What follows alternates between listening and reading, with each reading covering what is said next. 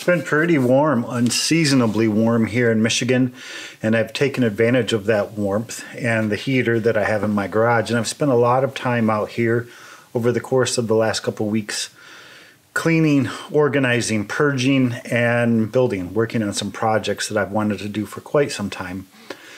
One of them is what I want to show you guys today. I got a few little odds and ends that I need to wrap up with the project and then I'll take you out back and we'll get it installed and I'll show you how it works and tell you what I like about it and what I don't like about it and what I would do differently.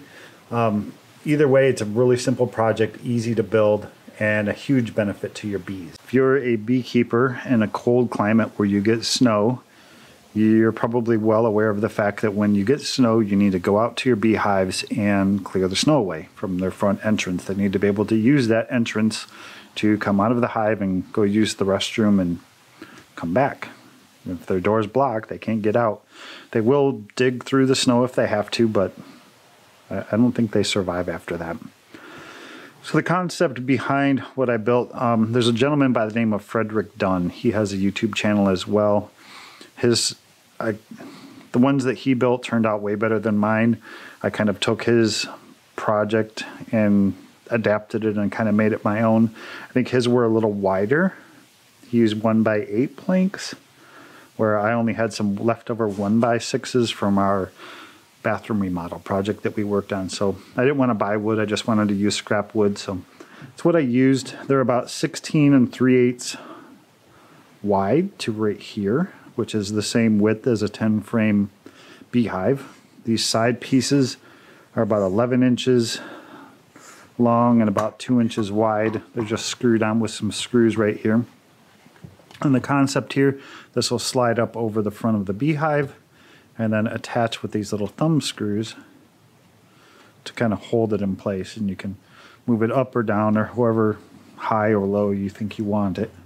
I did put some bevels on there. Um, this side and, and this side have about a 25 degree angle cut into them.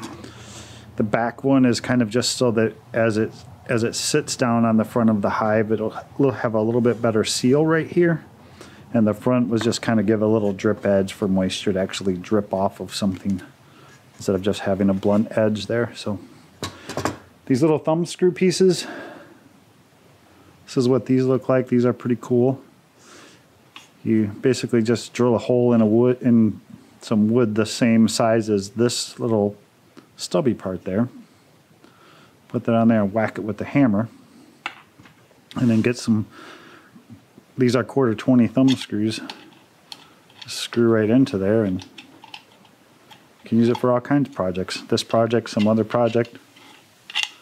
Thought those were pretty cool. So we'll head out back. Um, I built three of these, one for each of my hives, and we'll get them installed and see how they look.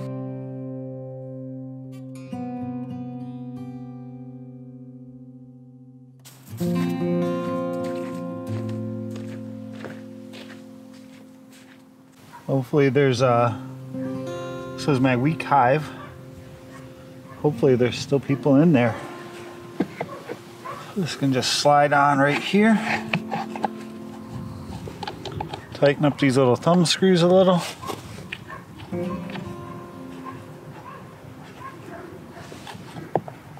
Perfect. That should be great for them. These little side pieces will even keep some of the snow from blowing in there.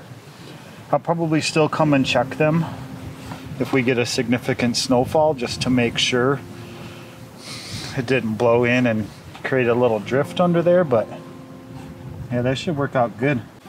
Let's see. I'm glad I measured right. I'm one of those people that don't measure things well. I don't always cut things well either.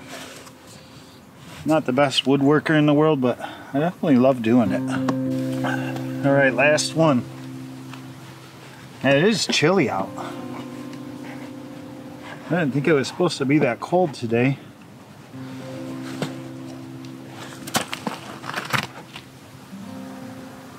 I did not record the process of actually building these I didn't take you guys over to my table saw with me and cut all these pieces and screw them all together. It's really a simple process.